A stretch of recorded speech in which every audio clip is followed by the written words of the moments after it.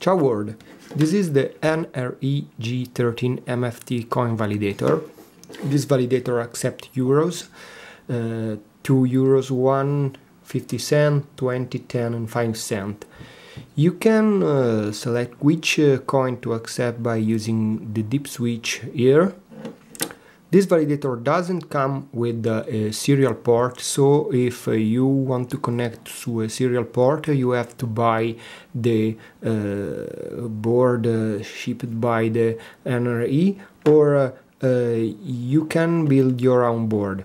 I build my own board uh, using this port here this is the board I built. It's based on a ATmega 8 and the serial to USB uh, adapter chip is the CP2102. Uh, the ATmega read the pin status uh, of uh, six of those pin and then send uh, to the serial port the number of uh, the coin accepted. In fact, you see here one two three four five six uh, resistor. As the mo the coin the coin they accept.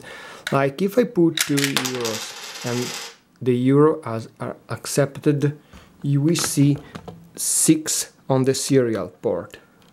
And if i put one 50 cent 20 10 or 5 cent here you can find the serial message that the board has sent.